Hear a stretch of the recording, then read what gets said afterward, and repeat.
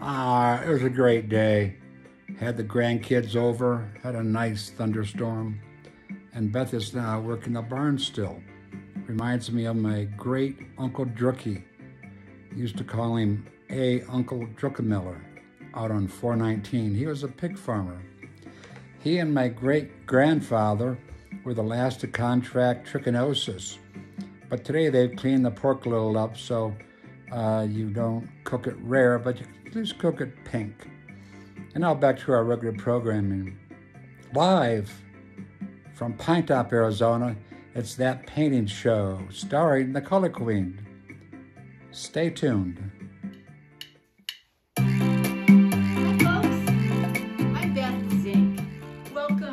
Day 15 of That Painting Show.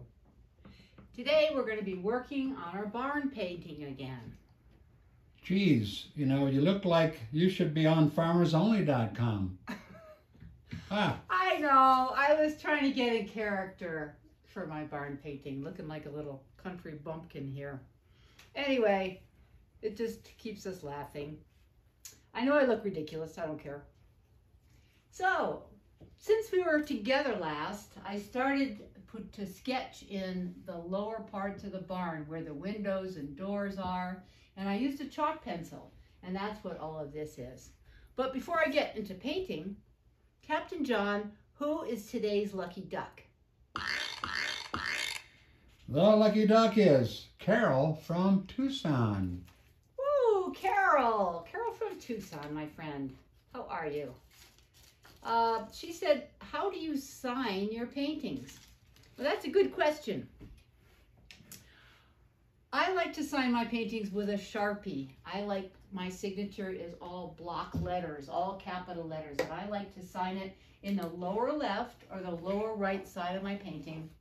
And I sign it with the Sharpie first, which is a more natural signature. And then I can go over it with a liner brush and some paint and actually go over my own signature in a different color if I'd like to. So that's, um, that's a really easy way of doing it. Some people sign in paint all the time, but I like to get my signature in a more natural stroke first and then go over it with the paint. Now, this barn is looking pretty good, but we do need to finish up this detail down here. So I'm going to take a, a small brush and a little bit of raw umber dark paint to make kind of a tan color. You see this tan color right here? I'm going to put that on first. It looks like, when I look up close at it, it looks like it might be like natural stone. Maybe limestone or something, because this barn is from the Midwest. But stone foundation underneath the barn. And then there's this little side building over here too, which probably stores other stuff. As a child growing back up back in Rhode Island, we didn't have a farm, but um, our next door neighbors did. And I remember how entertaining I found it to go over and look under the chickens for eggs and pick vegetables and all that, which was fun for me because I didn't have to do it. But it wasn't so much fun for them. Farming is hard business, hard work. Okay, I think I have all that in now. So that is the stone. And now I'm just gonna go ahead and put in the windows. The windows and doors just are in all shadow, all in shadow, so I'm just gonna put them in in black. Here I have a couple windows over here too, openings.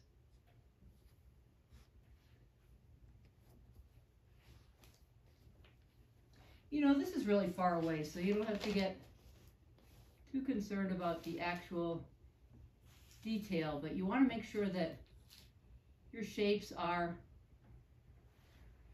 geometrical. You know, these are squares and rectangles. I'm using a little tiny brush.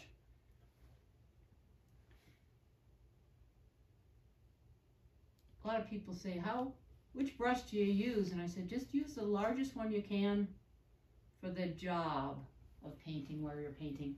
And you'll know if it's not the right brush because all of a sudden it'll get really hard to use it. I'm gonna come back off over here too and get these boards under this part of the foundation.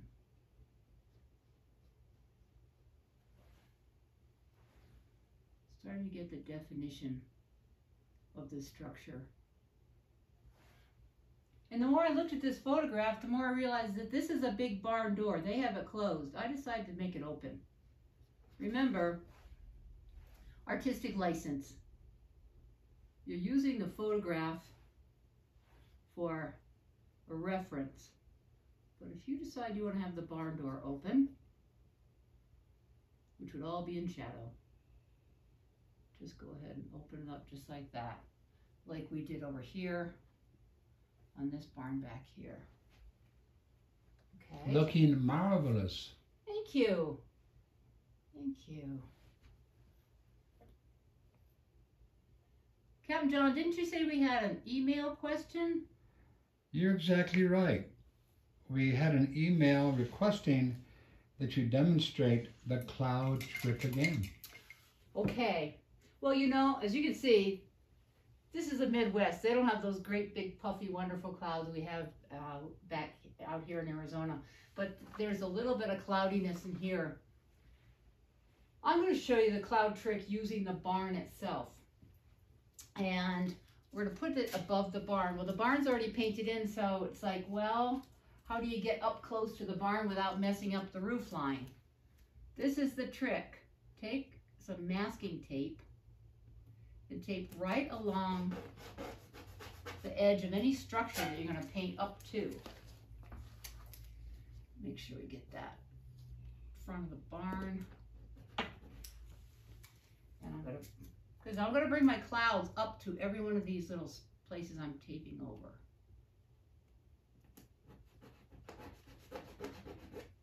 Maybe I'll even put a little cloud over the end of the barn here.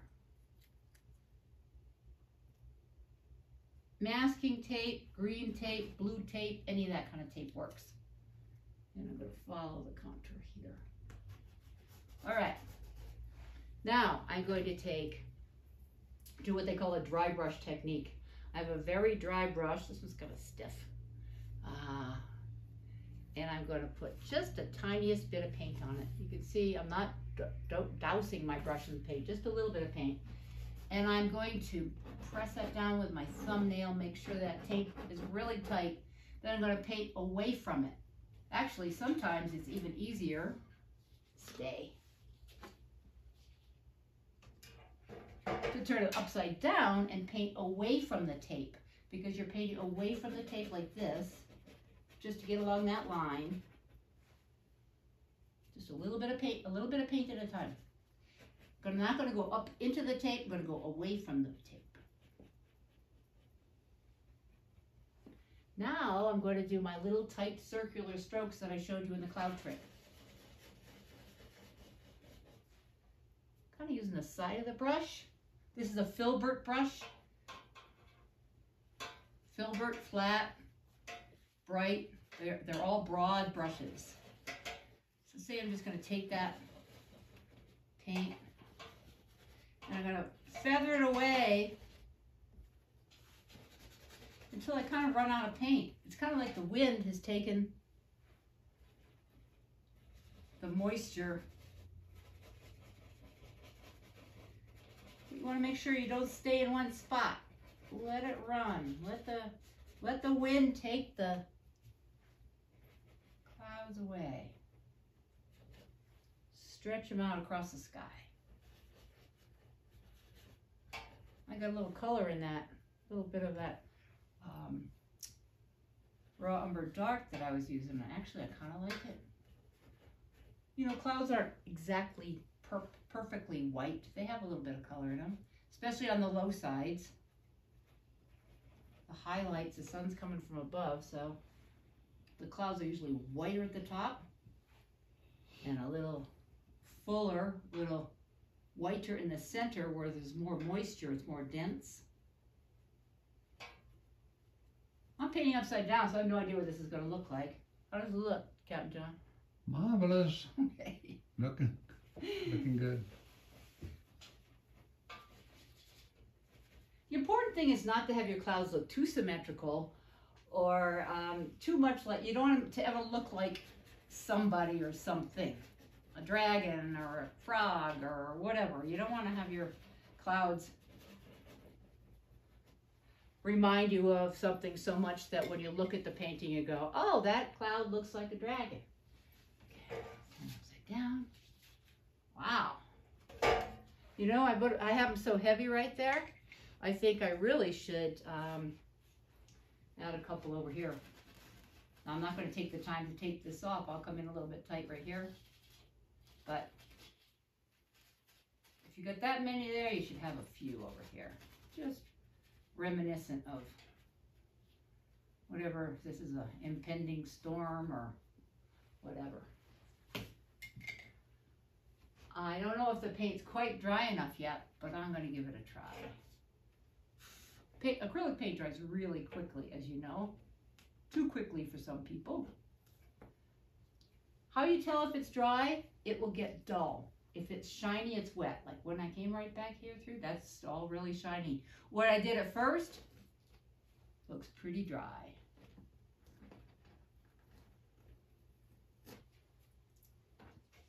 Pull the tape off.